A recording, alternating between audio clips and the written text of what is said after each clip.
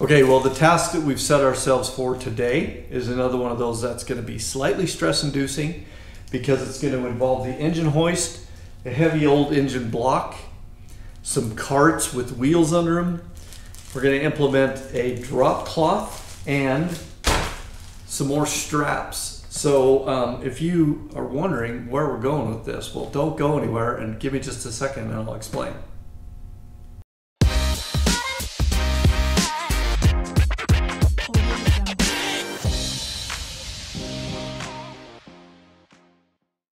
Okay, so I'll explain. I think I mentioned that I talked to the guys at S&J Engines, just emailed them, and I said, okay, what do I have to do to send this block back to you? And they said the trucking company won't take it unless it's in the box, wrapped in plastic, hence the drop cloth, and it's got to be strapped down again, hence the cheapo husky straps from Home Depot here. I'm just going to use two of these. They're 14 foot long or 12 feet long by one inch. I think that's plenty of length to go around, down, through the pallet and so forth and get them strapped down, get this thing ready to go. So my goal is I gotta move some stuff around, of course. That's always the first step whenever I start anything out here. I'm gonna wheel that old engine out here on the cart, lift it out of the box temporarily, wrap it in some plastic, put it back in the box, put those straps around, get it all strapped down, then I'm call those boys at S&J and say, come and get this thing. Then I'll have 454 pounds of iron gone from the garage, plus that big box, which is taking up quite a bit of space. So it ought to be interesting. Let's just dive in and see how it goes, shall we?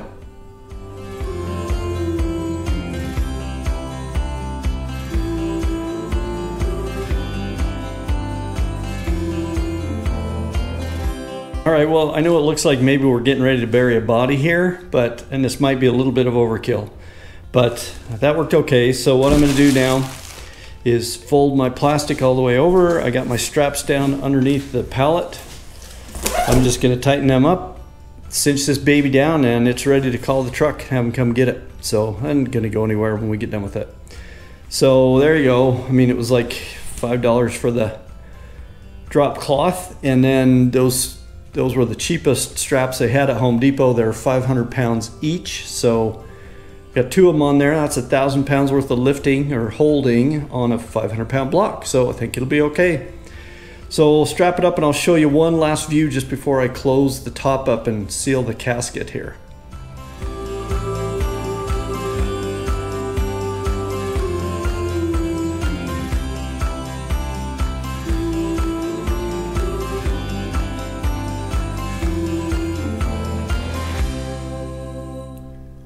All right, well, it's a Saturday morning. It's raining and a little bit of thunder and lightning outside, so it's going to be an indoor in the garage day, I think. And um, where I'm at is I'm going to work on, continue on the transmission and transfer case today. Transfer case needs some more primer, and then put that little pan back on it, and kind of then I should be at the point where I should be able to bolt it back to the transmission. Now I've got myself a little witch's brew going over here what I did is I filled this up with some parts cleaning water and the solution that mixes in there. I threw all the bolts in there for like all the bolts that go around this little pan and the bolts that hook the transmission transfer case back together. So I'll clean all those up and then up here on the floor I've got the transmission and transfer case and bell housing. Those can start to go in some fashion back together. I have ordered my clutch. It's not here yet. And uh, the motor, the core motor, is ready to go back.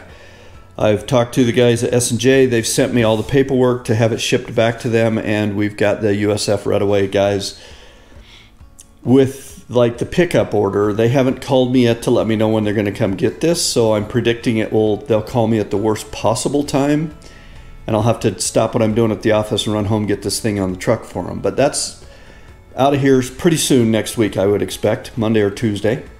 So yeah, it's going to be just a kind of a, again, like I said, a, probably an indoor day while it's thunder and lightning and all that kind of stuff out there. And um, if it calms down, I may back the car out so I get a little bit more room to work.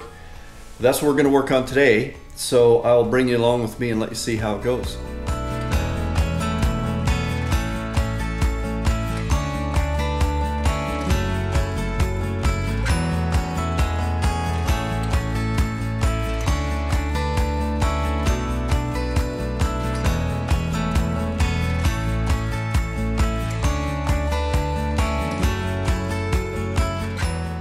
All right, well, we're going to explain how things work for a minute. So, if you're already intimately familiar with the workings of transmissions and transfer case, then you might want to skip ahead.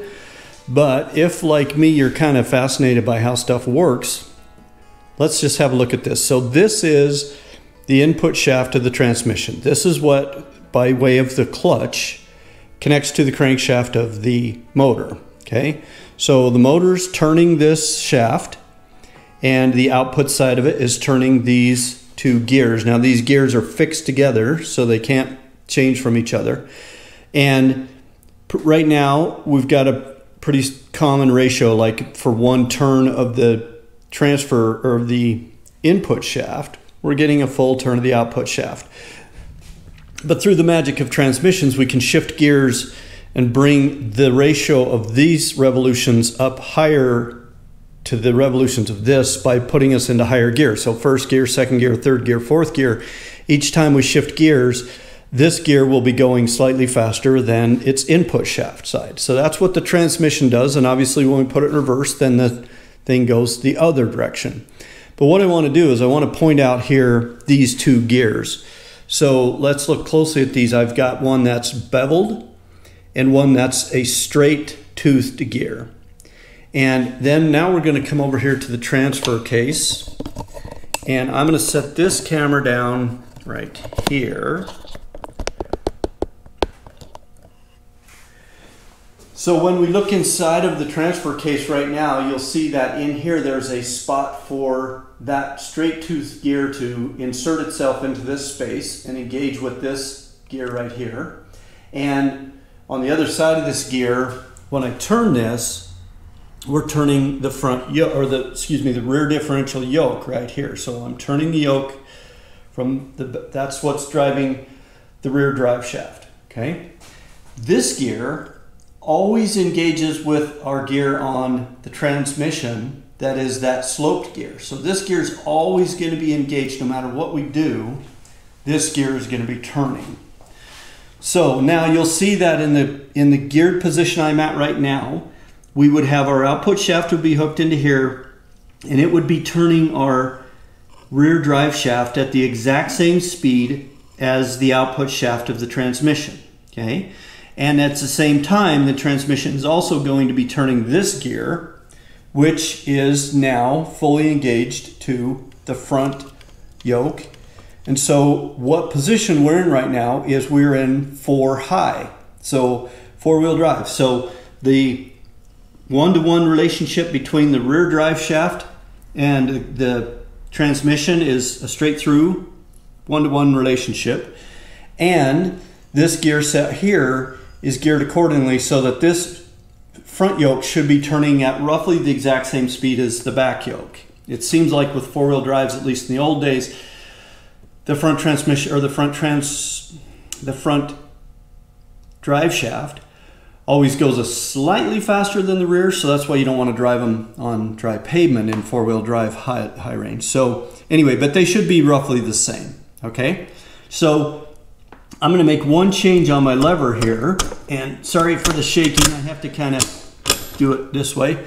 So now what I've done is I've moved this gear here back slightly and disengaged it from the gear down inside of there. So now my gear that's connected to my transmission is no longer connected to the gear that's running my front drive shaft. I'm out of four-wheel drive at this point.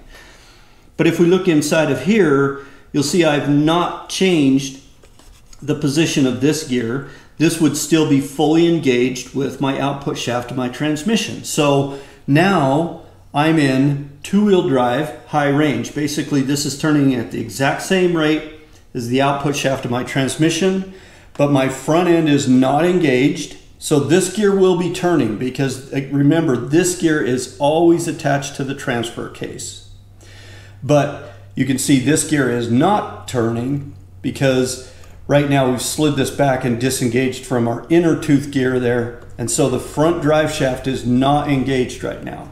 Okay, so that's two wheel drive high range now. And if I push this back one more click, what we're gonna do is, let's see if you can see that well, Okay, so watch this gear in here. As I do this next change, that gear is going to be pushed back slightly, which is going to disengage our straight tooth gear from the output shaft of the transmission. So now we've effectively disengaged the rear drive shaft. This will still be turning because like I said, this always turns. But you can see I can turn this now and neither of my yokes are turning. I'm not engaged at the front end. I'm not engaged at the back end. I'm in neutral on the transfer case. So this would be where if I was a tractor and I needed to run my power takeoff or something, I'd be engaged into neutral. Vehicle's not gonna move, nothing's gonna happen. My next change is I'm gonna go down to low range. So again, just click in here. And what I did this time is I moved this gear back. So when we look inside of our gear here, we can see now that I've pushed this gear way back. And now what's driving the rear yoke here, you can see I am connected to the rear yoke now. But now this bigger gear has to make a revolution for every revolution of the output shaft out of the transmission. And that in fact, that then turns this smaller gear, which turns this gear here. And so now it takes a lot of turns of my output shaft to get me a full turn of my drive shaft. We're in low range. But you can also see at this point I am still not engaged with my front my front drive shaft. So I'm in four low. I'm actually in low range. I'm not in four low. I'm in kind of two low and have not engaged the front drive shaft. One more click moves this last little socket thing in there or that push rod. We slid this, this gear back. Now my output ring of my transmission, my output gear is turning this and that's turning this, which is turning this, which is engaged over here. And now my front drive shaft is moving, my rear drive shaft is moving, I'm in four low. And there you go. That's how a transfer case works. So through the, the little bit of slack in my pins, I can actually come back, disengage my front end, keep my rear engaged, and this is what happens when you buy one of those twin stick setups. We replace our single lever with two independent levers that are driving our two pins independently, so it's much, much easier to move into low range with or without engaging the front differential or the front drive shaft or differential obviously. So again, back one, neutral, this shaft is turning. None of my shafts are, none of my drive shafts are going with it. The next click back, I think I got one too many maybe. Nope, there's two wheel drive, okay? This is turning, this is going directly to my rear drive shaft. This turns, but my front drive shaft doesn't. And if I do the final click back, and it's sorry for the shaking, I have to turn a little, there we go. Okay, now we've got four high. So there you go. That's how a transfer case works. All right, rem well, remember when I said I wanted to tap my hole for my breather on my transmission? I'm not sure about the one on the transfer case yet because it looks a little big. But I did pull the top end of the transmission out. So if we look down in here, um, this is the transmission. So lots of gears. I'm not gonna show you how all this works because it's just beyond me to be able to describe it. But basically, the, these different gears change ratios when you move your forks back and forth. And then this is the top of the transmission with the forks that I'm just talking about. So these are what you're moving around when you're shifting. So gonna clean all the Permatex off this. Then I'm gonna tap that hole and then I'm gonna put this back on before I mess with it. I don't wanna mess with it at all. This is kind of beyond me. So just gonna clean it up, tap that one hole and slap this thing back on. Well, that was pretty uneventful, but there's my new breather in place of that other little dude. And I just put a little Permatex around the top. There was Permatex there to begin with. So what the Permatex says you're supposed to do is just kind of hand tighten it down until you just see a little tiny bit coming out all the way around and then you're supposed to let it sit for 24 hours or 12 hours or something like that and then come back and torque everything down. Obviously you can see up here I got a little too much in there. But Then I've also just gone through and I've scraped out any of the little places that I could see where the primer was showing that I still had a little grease and dirt on here. So I'll clean up those little spots. I'll let this Permatex sit up for the prescribed amount of time. Slap a little more primer on this in preparation for putting it back together and then see if we can't bolt these two pieces back together and get them ready to go back connected up to the motor. So making good progress. Um, not sure how much further we'll get today as we got to let that stuff sit for a while now. So I might just let it sit for a while and go do something else. And then I'll come back and tighten them up good, slap a little bit more primer on, let it dry up, and then made them back together. Okay, well, the task I've set myself today is another one of those that's going to be a little stress inducing because it involves heavy lifting with the engine hoist back there, a drop cloth, and some bondage instruments. So I crack myself up.